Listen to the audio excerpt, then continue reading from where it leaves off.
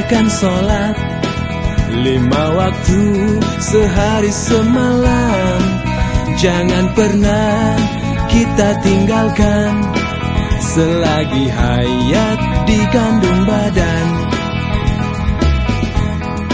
Sholat itu perintah agama Dari Allah kepada Rasulnya. Oleh itu harus kita jaga Insya Allah kelak masuk surga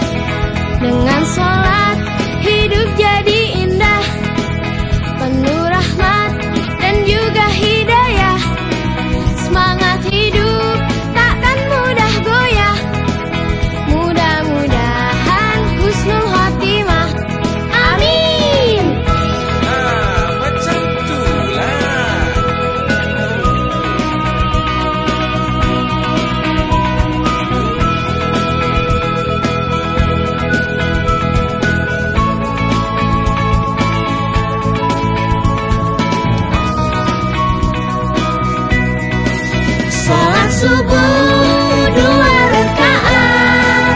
Zuhur dan asar empat rakaat. Sholat maghrib tiga rakaat. Dan sholat